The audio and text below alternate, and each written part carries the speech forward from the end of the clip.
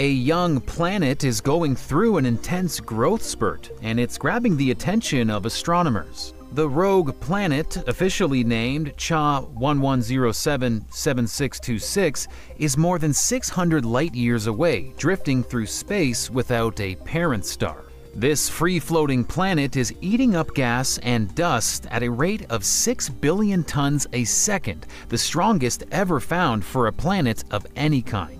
It's already estimated to be 5 to 10 times the mass of Jupiter, the largest planet in our solar system.